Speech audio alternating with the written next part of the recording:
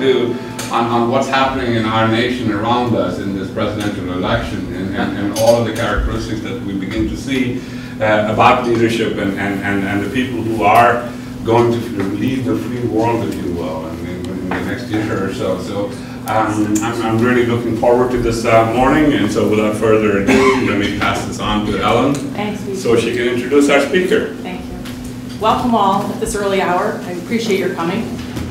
And I'd like to start by thanking Jane Staunton from um, BNY Mellon Wealth Management and uh, the friends uh, whose generous support makes these programs possible. Our guest this morning was introduced to me by my husband, Pierre, so I do want to thank him. And, uh, and I will remind all of you that it's your suggestions and ideas that bring these wonderful programs and people to, uh, to the college. So I encourage you uh, to think about it and reach out to me.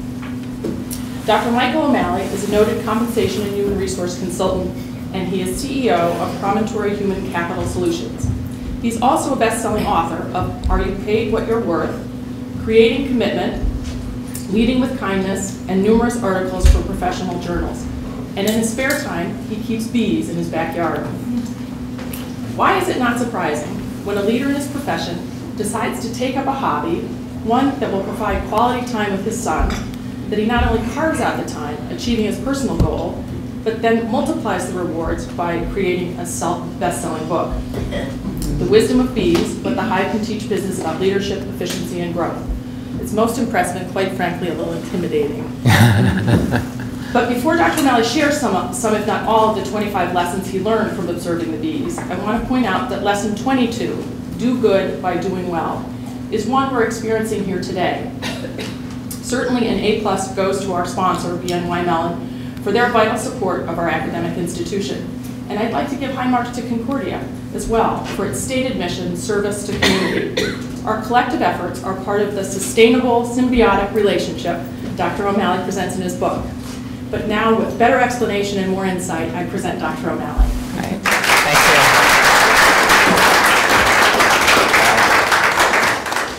Well, I don't remember um, ever giving a talk this early. I don't remember getting up this early. I know. I know the objective, if you give a nighttime talk, is to keep uh, people awake. I guess my objective is to keep you from falling back to sleep at this at this hour. Uh, this book was, you know, when I usually write books, you know, you, ha you have an idea, you know, there's a concept, you research it, you write it, but this one evolved over a long period of time and really was a, the result of a convergence of just happenstance and circumstances. One being that my wife is allergic to most furry critters, so all of our pets growing up have been reptiles and amphibians, and uh, I will give you, I, you know, I think one piece of very important advice, don't get a water turtle. Do not get a water turtle very difficult to care for those little critters. And we had, you know, snakes, which of course is, uh, when they say put the lid on tightly, you really should put the lid on tightly. uh, we had a snake, a ball python, escape into our house, which, uh, you know, we called all the experts. They said, no, no, a ball python can't, can't exist uh, for six months during the winter. And my mother-in-law comes to town and finds it alive in her in the guest room closet. She's really excited that she found it for us. so and then I have an eccentric brother-in-law who came to town and he had just put 40 beehives in and he had said, you know, every kid should have a, a beehive in their backyard and you can take the male drones and you can bring them to school and he'll be a superstar and so you really should have a beehive. And so the superstar component convinced he and I that you know we should get this beehive. So we put a beehive. Yeah, this is now about 12 years ago in our backyard. And then I put a bench by the uh, the beehive, and I would observe them. And as an organizational psychologist, I started. You know, at first it looks like a Jackson Pollock painting. You know, they're sort of flying all over the place. And then you think, well, there's got to be some order and method to this. Let me sort of explore what it is that they're doing, and I realize, you know, they do all the things that we do. They, you know, provide shelter, they care for their young, and uh, they eat, they sleep, they work. Uh, and so the working hypothesis for me became that they're trying to solve the very same kinds of problems that we're trying to solve, and that's, you know, how do you productively and harmoniously work effectively as a large group. And bees are large groups, so there could be up to 50,000 bees per hive. Um, and, and so in the work, words of uh, Sherlock Holmes, I thought, you know, there may be something to the, these, the little workings of gangs, as he called it. Sherlock Holmes was a beekeeper. He retires to Sussex Downs to write his magnus opus on bee culture, and he's called back into duty to uh, solve a crime, and Watson is very suspicious about his abilities, and Sherlock Holmes weighs him off and says, no, I've seen more incidents in my backyard in the hive than I have seen in all my years in London streets. And so, uh, so perhaps the bees do have something to say about things, about how we should organize. They've been around, they actually evolved from wasps. They've been around for over 100 million years, so they are quite successful species. They're not native to North America. They were brought here in the 1600s, and they, are and they now qualify as an invasive species. They are very successful wherever they are put. Um, one of the things that I, I get when I write blogs or articles, though, is that, you know, comparing humans to bees is an unfair comparison. I mean, we're not, we're different, right? I mean, they, uh, and usually what, they, what they're getting at are one of two things. One is that bees are pre-programmed and so you know they just do things quite naturally whereas you know we are sort of encumbered with decisions and so forth and I have to say that part of it is untrue. And whether or not you call it thinking or not, you know, that, that's debatable, but they're certainly a lot smarter than you, they, you think that they might be. They can count up to four. They can, uh, they can recognize things like faces and landmarks. They can uh, recall. They can, you, after a millisecond exposure to a single color, 24 hours later, they can identify that color. They've got wonderful working memory. If they had cell phones, they could fly and talk at the same time. Uh, they can visit 10,000 flowers in a day and report a single you know, place of interest to their sisters and half-sisters that, that very same day. They're tremendously productive uh, creatures. They, a hive, uh, a typical hive will produce 200 to 300 pounds of honey uh, per year. It takes 55,000 miles of flight and the visitation of about 2 million flowers to produce a single pound of honey. So they are, yeah, they're quite industrious, uh, hardworking uh, animals. So they can, and so they, they do make choices. Uh, they do have more intellectual abilities, you know, in a, 100,000 neurons that they have or a million neurons that they have. Um, so that's, that's one thing. In order to adapt, you really have to be able to react to uh, your environment and make decisions, and bees certainly do that. The other, the other thing that I, that I get is probably a little closer to the truth in terms of differences that, that maybe give bees an unfair advantage. And one is that they have a common objective. That the, you know, the sort of the objective and the interest of the hive are those of the individual bees themselves and vice versa. They're all sort of one. You know, they all have the same uh, cause and purpose, uh, and uh, know, it's to regenerate and, and to grow uh, and to survive.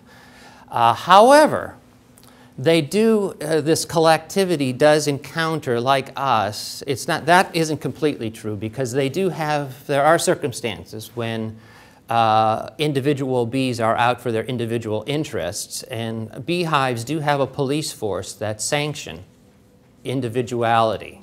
So if a bee acts in its own interest, which is usually to, to lay eggs, where only the queen has that privilege, there is a police force that actually stops that from occurring. So, uh, so they do levy sanctions against individualistic behavior in order to maintain uh, a collectivity. I, had a I have a friend who's um, writing a book. They're former, actually, naval officers, now management consultants, about what you can learn from, what managers can uh, learn from mutinies. And one of them had written, you know, right, uh, which is a good idea. And one of them wrote to me saying that they found in the Belgian Royal Archives a letter written by mutineers to the Spanish Netherlands with, the, uh, with a seal that said mens eadem omnibus on it. We are of one mind, and then it was a very ornate seal with a swarm of bees on it. Uh, so they do have, you know, they have a tendency to have, they don't really have as much, oh, infighting, I would say, as the human communities experience. Uh, the other advantage uh, that they have that I think is truer, and that is that they, and I try very hard in the book not to anthropomorphize, but you know, we would call it the behavior we would observe, we would call trust, and that is if one bee tells another bee what to do, they don't sort of stare in disbelief or question it, and you know, they actually accept what is being told as, as genuine and truthful. So for example, when a bee visits a particular flower patch and that flower patch is depleted, uh, the bee will check back for a few hours just to make sure conditions haven't changed before completely abandoning that patch. But later that same day, that same bee may see another bee advertising that very same patch. Well, the bee doesn't say, well, you know, I've been there and there, I know there's nothing there, as if to say, you know, we've tried that before and it doesn't work. What the bee does is it actually goes to look for herself. And it is herself, since as you know, most of the colony are female.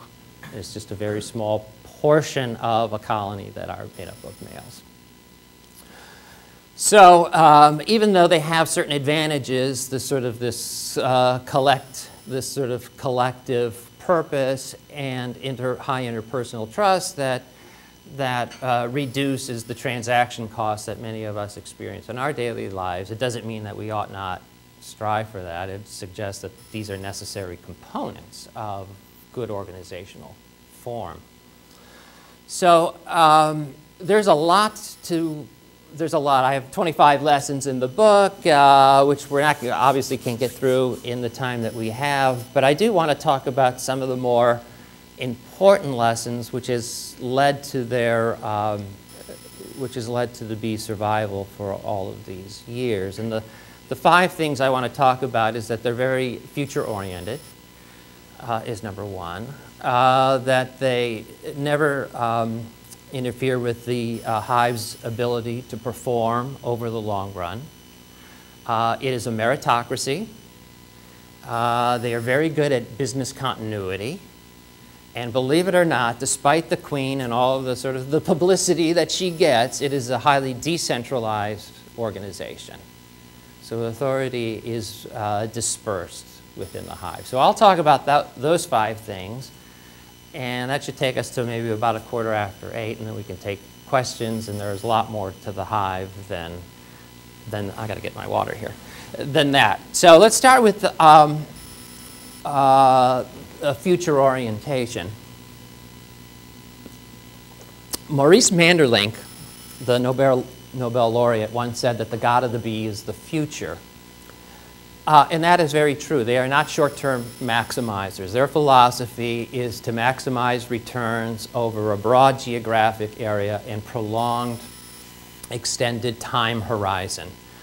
Uh, and that is most evidenced by the fact that they even though they will concentrate resources on the most lucrative flower patches, they always have a scouting force out looking for the next new thing because they don't want to put everyone in one place and have that depleted and then have a period of time where there's no intake of honey or pollen. And pollen is essential because they keep it in short supply, only about a three-day reserve.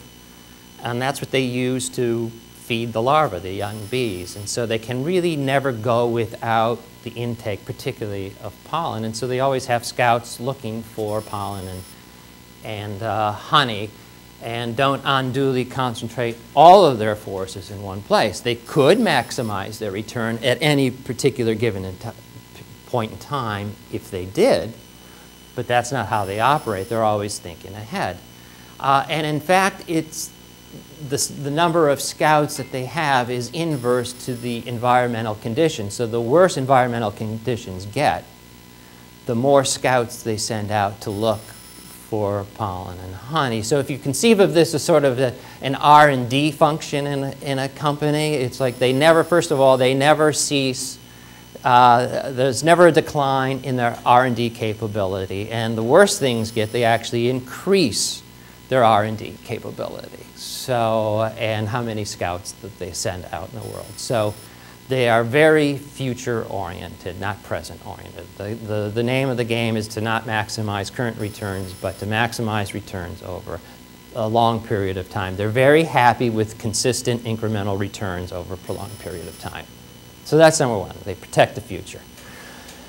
Number two is that uh, uh, anything that interferes with, well, the, um, what they try to do is protect the longevity of the hive. They never try to impair the hive's ability, bee's ability to produce over the long run. So when a bee is born into the world, the idea is that the bee will live a long and productive life, which is on average six weeks.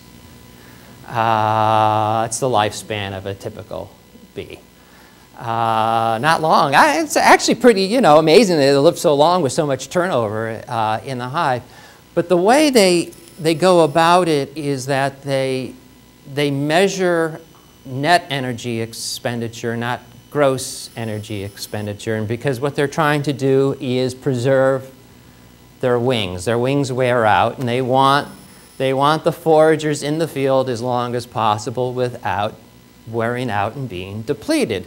And so they're not indifferent to, um, to flowers that are nearer or further away from the, uh, the hive. They'll prefer the ones that are, that are closer. They'll prefer flowers that are more tightly clustered together.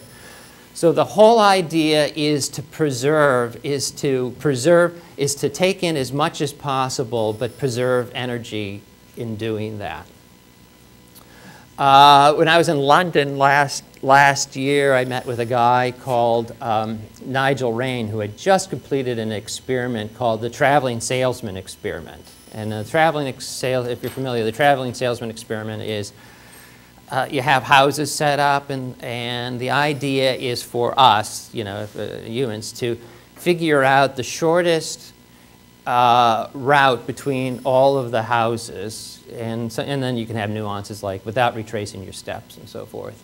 Well, he set up um, uh, these, you know, plastic flowers with sugar in it, and, and he wanted to see how quickly it took bees to actually solve the traveling salesman program. And uh, he had computer programs sort of competing against them. And what he found is that bees solve the traveling salesman problem quicker than a computer can.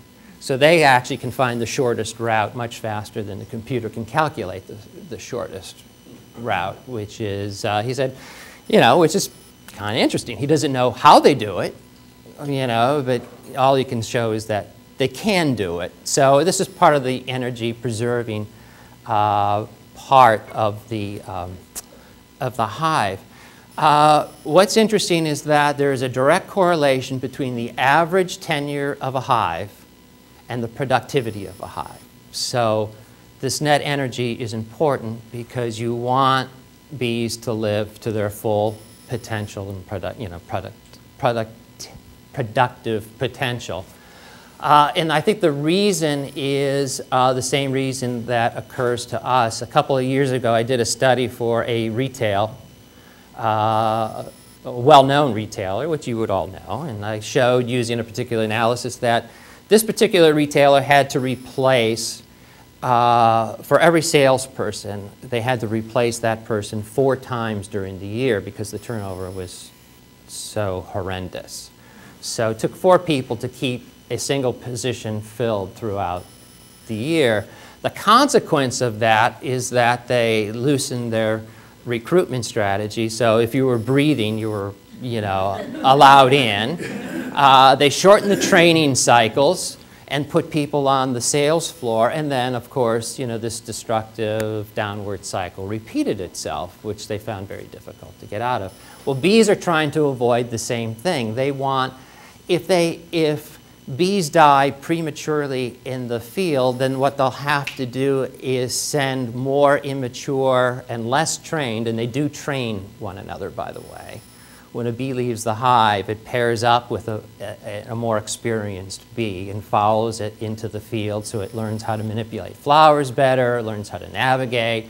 So there is a mentoring program in the hive uh, but what would happen is that they have to send uh, immature bees out earlier into the world to, to forage. Uh, they will, um, uh, being immature, they will not survive as long, and so, you know, gradually uh, the number of foragers will dwindle and the hive will die. And so it's very critical for them to have longevity in the hive and, and preserve the um, the ability of the hive to perform over the long run. Uh, the next thing is it's a meritocracy. You, uh, believe it or not, there's very little nepotism uh, in the hive. So um, what matters most is can you perform the job, basically. And there's a, you know, there's a, a, a minor sense of ruthlessness in this, as you'll, uh, as you'll see, but so if larvae are infected and have no chance of succeeding um, in the hive, they will be thrown out of the hive. If a, um, a bee has mites or is diseased in some way, it will provide a shaking signal. It will ask for help to be cleansed, and other bees will try to help it, but if they can't, that bee also will be excluded from the hive. Um, and there are undertakers in the hive, you know, that sort of get, uh, that's what they're called. Uh, they remove, uh, that's their job, is to remove uh, dead or dying bees from the hive to keep it clean. Uh, but probably the two best examples of a meritocracy exist with drones and with the queen herself, because she too has to produce 2,000 eggs a day, basically, is what she has to produce. Uh, there's a, it sounds like a lousy job. uh, but uh, here's how it works. Um, there's only less than 5% of the hive is made up of these larger male drones. They have big eyes. They're very powerful flighters, uh, flyers, so I don't want to undermine their capacities, but when a new queen uh, arrives at the hive, she goes up. Uh, there's this area in the air called congregation areas. It's kind of like a bar room in the air uh, where all the drones and the queen go to, and the drones start chasing the queen around, and she ends up uh, mating with oh, uh, anywhere from 12 to 15 uh, males, and she stores that sperm for her whole life. And this is very important if we have time to get to it because this is the way diversity is introduced into the beehive, the fact that they have multiple, the queen has multiple fathers. So these multiple patriline's is the way that they introduce diversity. The more diverse the hive, the more productive the hive. It has a more robust um, uh, worker population and it produces more honey. So diversity is critical uh, to the survival of the hive. Well, uh, drones that are successful, if you want to call it that, in mating with the queen uh, die in an aerial free fall. They do not survive the mating process. Uh, those that are unsuccessful return to the hive and hang out. They don't have any, any other kinds of things that they do. They, uh, they basically go for leisurely flights uh, on sunny days, you know. Uh, however, and this is where it gets, uh, when fall comes and the bees need the honey uh, to live on, probably the, the saying might be, uh, if you want to eat the honey, you have to contribute to the hive. And the drones aren't contributing to the hive in the fall, and the hive can make new ones in the spring, and they do. So the drones become expendable in the fall. And they don't have stingers, whereas the females do. And it's a decidedly one-sided affair. Women, you may be pleased to hear this. There is a day called Massacre of the Drones, where they are ceremoniously ushered out of the, uh, unwillingly, out of the hive uh, for the winter, so that, uh, so that the, the, the remaining female bees have the honey to, to live on. So because they're not producing, they become expendable and uh, are eliminated. So basically anything that doesn't contribute to the productivity of the hive has been selectively disfavored, and this is one of those things. Uh, the queen herself uh, is expendable. When the, um, the natural life of a queen is about, I mean, if you were just to let her go, it would be about seven years. But her productivity begins to wane after about two to two and a half years. And the worker sense really when there's a decline uh, in productivity. Uh, a, a, um, a hive cannot exist without a queen. And it is sort of imperiled if they wait too long to replace the queen. If she becomes too unproductive and they wait too long to replace the queen, the uh, hive is in jeopardy because it takes about 30 days for, to produce a queen from the you know, inception to the time that she actually becomes a productive working member of the hive society, colony society. So it's very important to think ahead in terms of business continuity. And there are two ways in which queens can be replaced. So when workers sense that, uh, that the queen is, um, has a decrement in productivity, they actually start building what are known as queen cells. And these are larger. The queen is uh, the largest bee in the hive, and the, and the, cells that the bees build are larger. And uh, the queen lays eggs in these particular cells, and there's usually about 12 of them that are created. And if uh, in the hive uh, you are sort of what you eat, uh, so all fertilized eggs become females. But what distinguishes the queen from other females is that the, the queen is fed a special high protein diet called royal jelly. And that actually transforms her genetic makeup. The, the the uh, bee's genetic makeup, and she actually transforms into the queen, of which there are going to be 12 of them. The first one out gets the job, basically. The first one to come out of the cell is the next queen. I mean, she's, ob she's obviously the most developed, most mature, and the reason she gets the job is because she quickly dispatches with her competition by stinging them through their uh, cell walls. Yeah, yeah, she eliminates the competition basically. Uh, uh, uh, either as they're emerging or right through the, uh, the wax cell walls. Queens have retractable, reusable stingers, and so it's, they, can, they can do the job efficiently.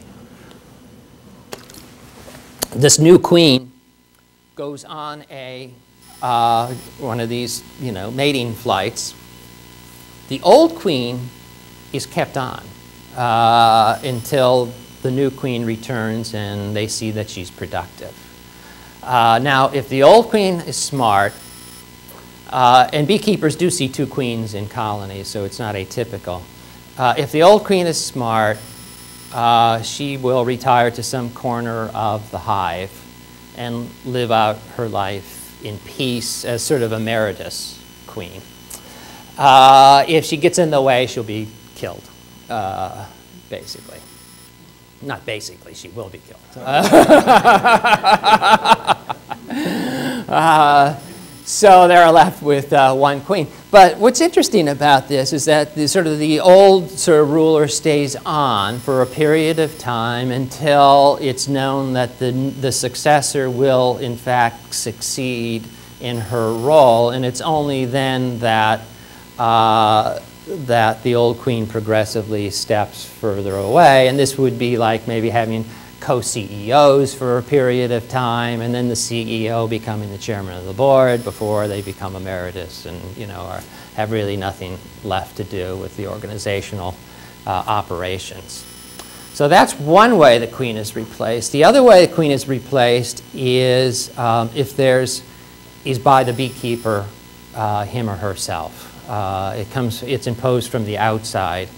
And you do that when there is something culturally wrong with the colony that cannot be fixed through the current bloodline. That is, the only way to change the culture of the colony is to bring in new blood from the outside, basically change the genetic makeup of the, uh, of the colony. And the typical problems are over, overly aggressive bees, uh, or more typically a susceptibility to disease. And so in either case, the beekeeper um, would want to replace uh, the current lineage with a new bee. Now, if you take a new bee and put it in a hive, it is quickly killed uh, through a method called heat balling.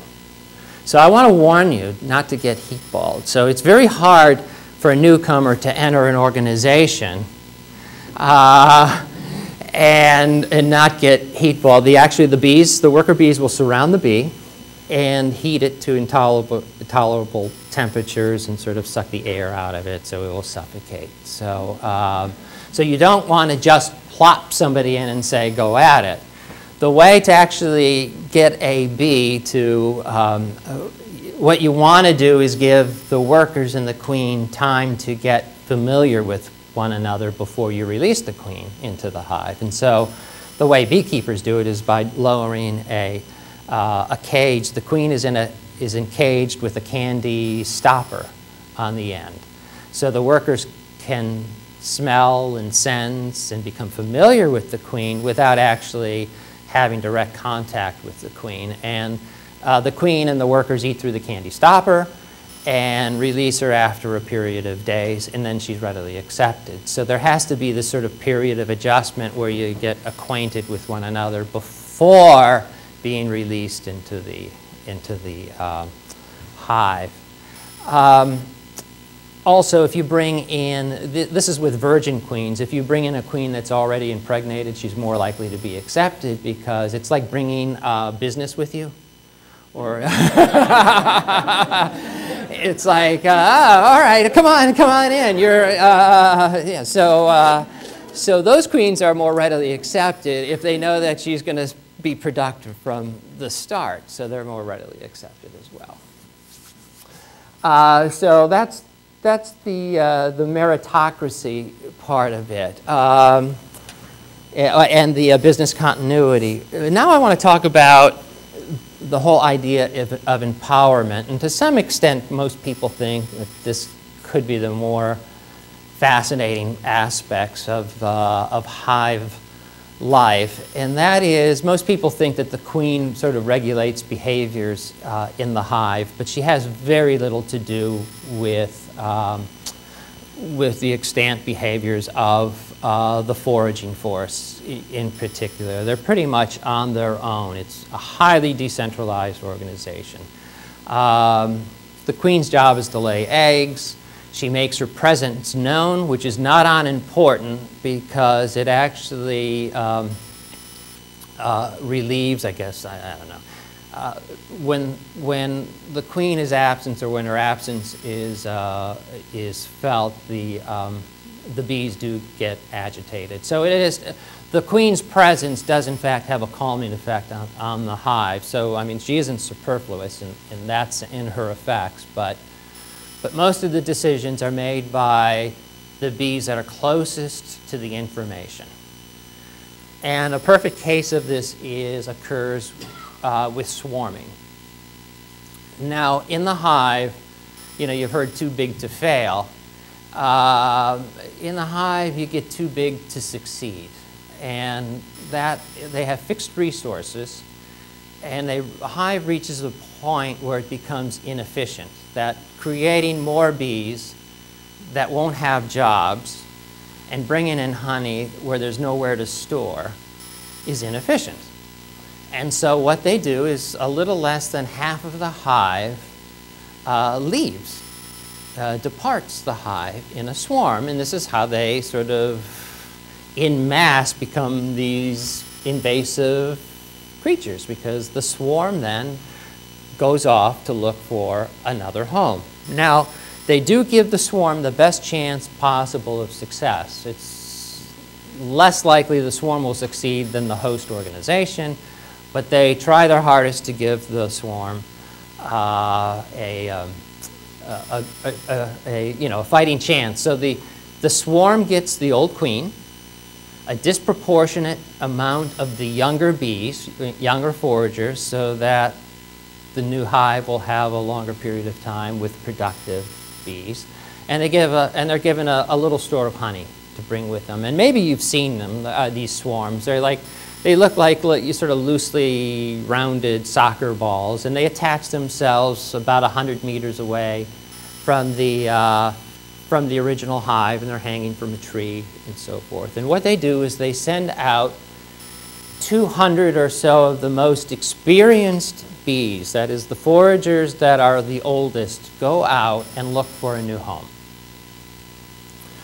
And uh, they have criteria that they use. You know, they're looking for homes that have a certain cavity size, size of opening, height from the ground, direction, and so forth. And they come back, the bees come back with about 24 options in which the swarm will sort of entertain as possibilities.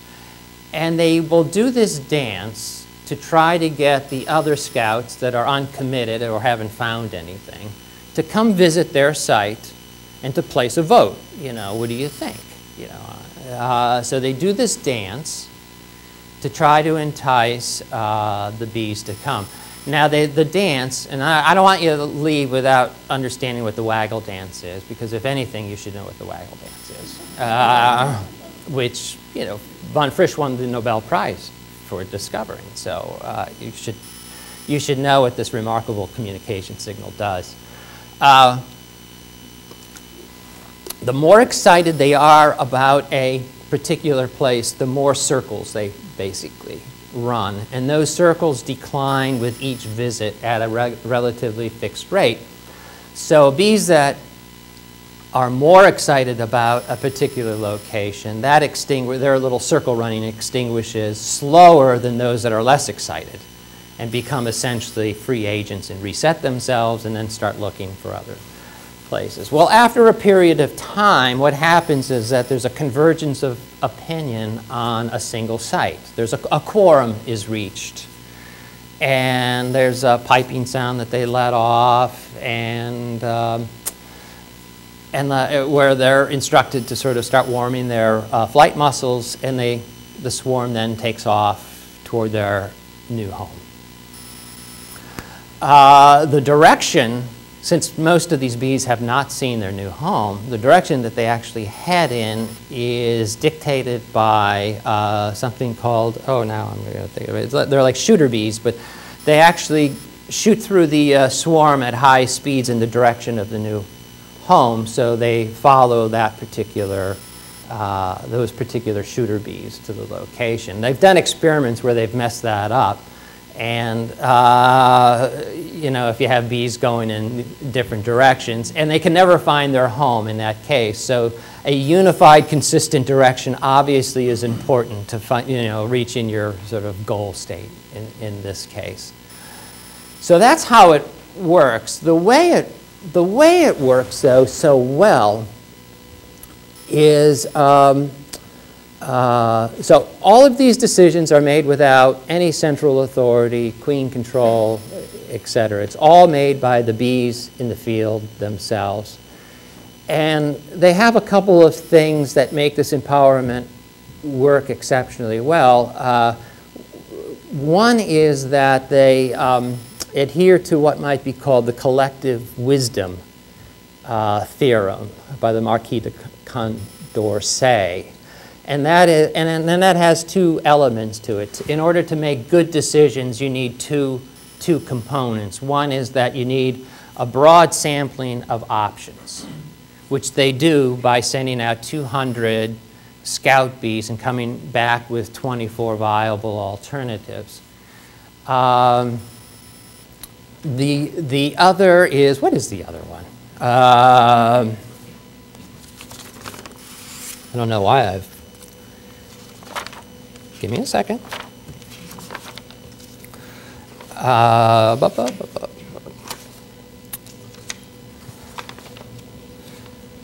Oh.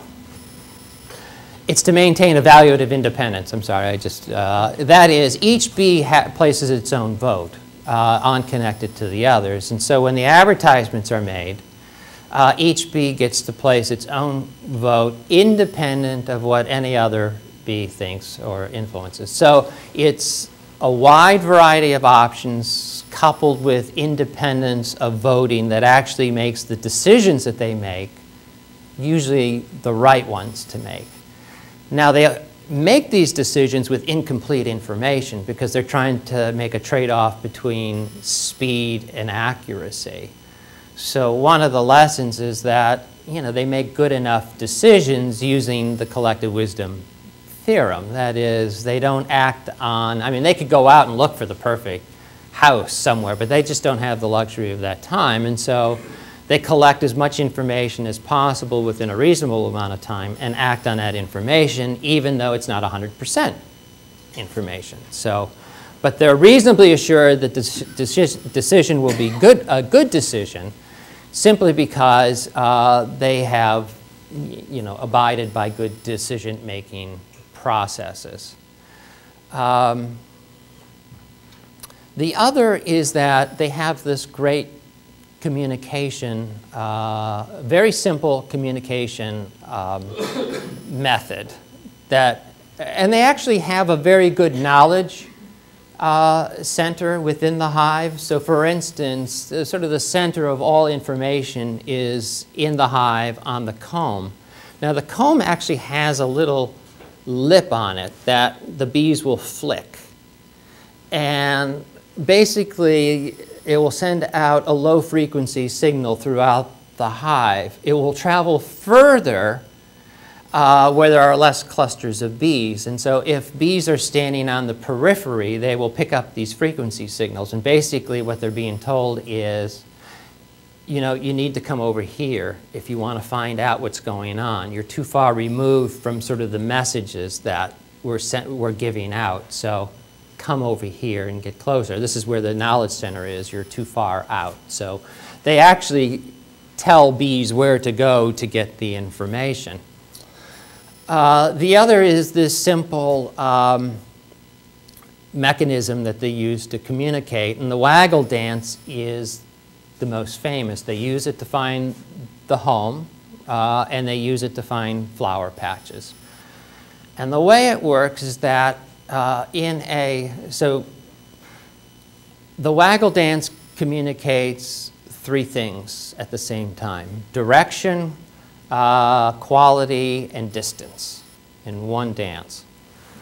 And everything, the, the hive is uh, set up on the vertical, so everything is on the vertical.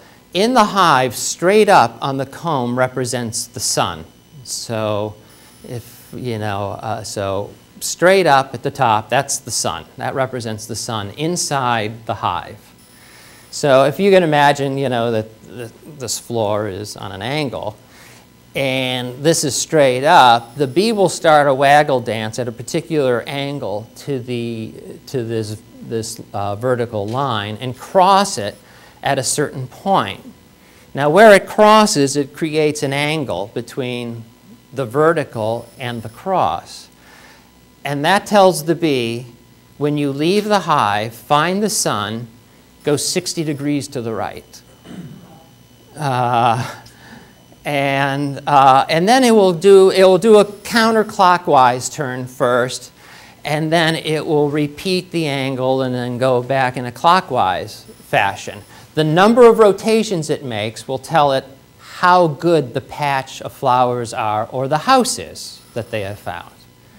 So, uh, so there's two things, right? The angle that you need to go on, the direction.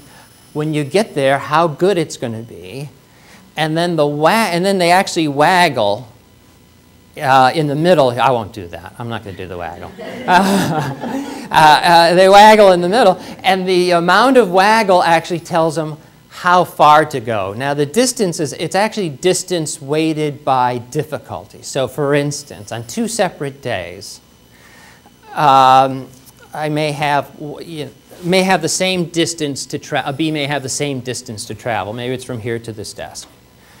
Uh, however, on day, day one, it's calm. Day two, there's a, a very strong headwind. What the waggle will do on day two is, is communicate that you have further to go. The waggle will be longer because it actually incorporates distance uh, with the fact that it's going to be tough going for you. And the same would go for if, you if they have to go through trees and things like that. The, the waggle will be longer because it's going to be a more difficult run for them. So one dance communicates three things, direction, quality, and distance, which is amazing, I think. And that's only one of 17 communication signals that they have. They have plenty of others. And for that reason, they've been called honorary mammals because they have, you know, a very sophisticated communication system. But that's the other part. Not only do they make sound communication decisions, but they have good communications. They also have, you know, they also send their most experienced people out, you know, people, uh, foragers out to look for things. So what makes empowerment work in the hive or this decentralized authority is sound decision processes, uh, competent foragers, uh, and really excellent communication. So you can't just say, oh, we're going to become an empowered organization and hope that it happens without having these other components in place that the, that the, that the bees have. So I know we have until 8.30, and there's a lot more to describe about the hive. They do tend to be a very risk-averse uh, group. I mean, they're really, they are designed to um, pre uh, prevent catastrophic failure of the hive. And so anything they do is really with the idea that we are going to protect ourselves against worst case scenarios. Uh, and that's how they operate. Uh, so things might will go bad because they can't predict the future either, you know, and so in environmental conditions, but no matter what happens, we want to actually make sure that we have assumed the least risk or have a contingency plan in place where we can deal with those risks. So, uh, so for instance, if they're short foragers, they have a set of precocious bees uh, that they can accelerate their development and get them into the field faster. These would be like high potentials or fast trackers in organizations. They can get them out much more quickly. So they do have these sorts of contingencies that they can initiate if conditions warrant. So, well, how about we take, you know, questions? Yes? I just wondered uh, how you know how much uh, honey to take. That is to say, if you take too much, then the hive won't have enough for itself. And if you take too little, maybe goes to waste or that starts a swarm or something. How, how do you know the amount that you can take? Well, um, you know, we're not actually the professional beekeeper. We take about, I would say we take about 25 pounds. We really take very little honey relative to it. I mean, we, you know, we we jar maybe 50 to you know 100 jars full of honey, and we leave most of the honey to the um, uh, to the um, uh, to the bees. Uh, I don't think they would think that uh, there's ever. I mean, if you do take too much, they're not going to. They will not survive the winter. So, um, you know, I I don't know what the uh, rule of thumb is. They probably you know, I usually see these commercial people take about 100 pounds, about a third, about a third of the honey, and they seem to do fine existing through the winter. What happens in the cold weather? What, what is the hive activity when it gets uh, freezing and cold?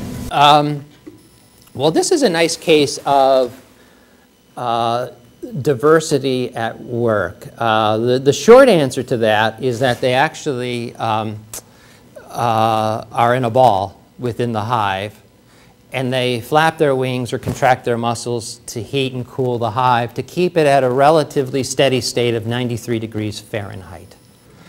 Inside the hive. Now, um, diversity comes in on this. If you, if you imagine this, they don't all flap their wings or contract their muscles at the same time. So let's just imagine, because they're sensitive to different temperature cues. Let's just assume now that you had a ship and all hands were on deck and all of the people on deck were the same. And so, and that the ship started to tilt. So given the fact that all the people are the same, they all run to the other side of the ship at the same time and it starts tipping that direction. And then they run back to the other side and, you know, and then the oscillations get larger and larger until the ship capsizes.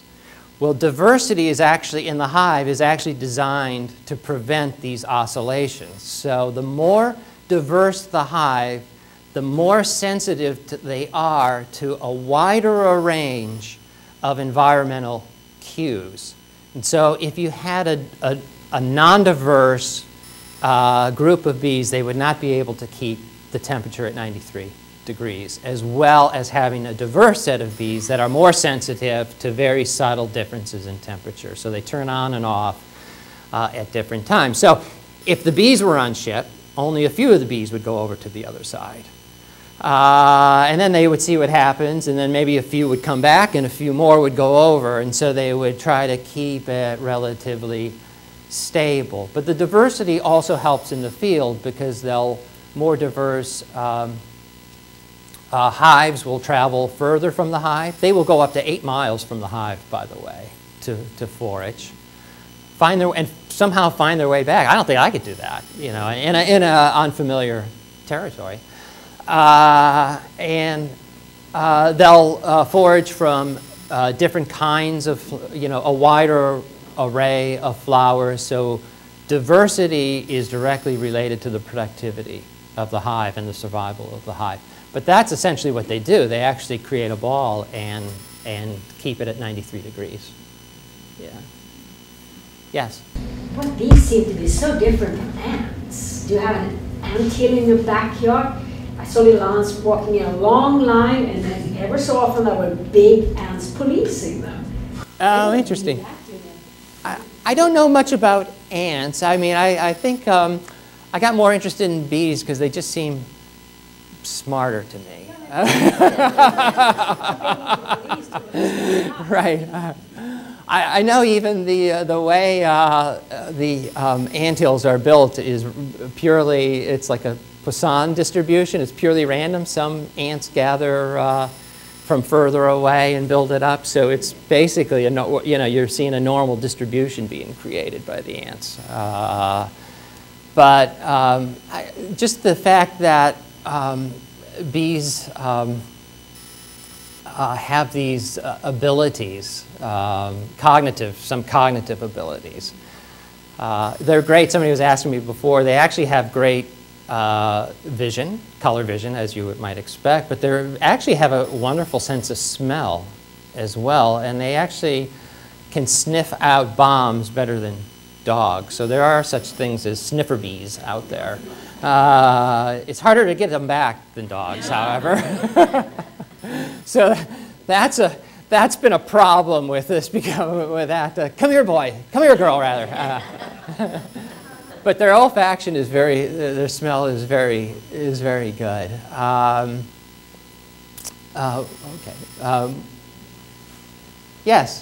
Could you comment on what's going on in California? There seem to be obviously some viruses or something that are impacting the hives, and so they seem to have problems, and I think farmers Yes. have had some concerns about getting enough bees to be able to pollinate their crops. Yes, which is interesting because, you know, bees, um, well, we're to, it's colony collapse disorder, or it's sometimes called the Marie Celeste disorder. Marie Celeste was a ship that was uh, from the 1870s that was lost and found, and all the jewelry and everything was on the ship except people. And with colony collapse disorder, it looks like an operating hive except there are no bees present. So it looks like everything is in order except the bees aren't, aren't there. Um, just as background, bees actually are worth, the pollination's worth about $16 billion worth of agricultural revenue. Uh, about three out of every four bites of food we take are related to the activities of bees. So they're really essential to uh, our diet and the, and the economy. Most bees, uh, there, are, there are fewer and fewer feral bees in the world. Uh, most of them are commercial bees, something like 90%. And they are shipped around uh, the country to pollinate these huge agricultural farms, whether they're agricultural, uh, avocado farms, and that sort of thing. Well, if you can imagine, you're shipping bees from place to place. They used to feed them on high fructose corn syrup, which is, you know, it's like drinking a Coke a day. Uh, and I mean, they're experimenting with more, um, oh, with um, high protein substitutes, but what they're finding is that uh, in the wild, feeding on, they need different kinds of pollen and different kinds of proteins, and feeding them on one is insufficient. So they're traveling, so tell me if this, this sounds familiar. So they're working long hours. Foragers typically have to sleep eight hours a day, uh, and they're not. Uh, so they're not getting enough sleep, they have a poor diet, and they're working hard. uh, and what happens, and I think part of the reason they haven't been able to pinpoint what the actual sort of proximal causes of colony collapse is that what happens is that their immune systems are, are uh, depleted and they're actually susceptible to more kinds of diseases of all kinds uh, because of this. And so that's why you know nobody has been emphatically been able to say it's due to this. It's probably due to an immunity deficiency that's created by trucking the bees around, feeding them poorly, not giving them enough sleep, and and this could even be during the winter months when uh, a lot of bees are really accustomed to getting more sleep.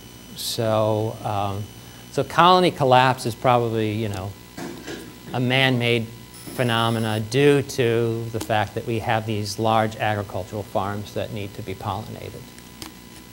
Yeah.